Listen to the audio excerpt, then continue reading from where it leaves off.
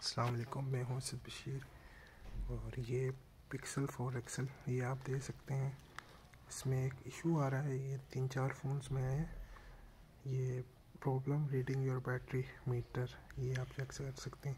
इसके लिए मैंने फ़ोन को फ्लैश भी करवाया, उसके बाद अभी तक इसका मसला हल नहीं हुआ। अब इसको बैटरी भी मैंने उतरवा के लगवाई, अब इसका एक ऑप्शन रह गया कि इसका बैटरी रिप्लेस करूँ। और बैटरी रिप्लेस करके मैं आपको इसकी नई वीडियो अपग्रेड करूँगा। अभी तक कोई भी इधर प्रॉब्लम इसको कैच नहीं कर सकता कि इसमें क्या प्रॉब्लम है।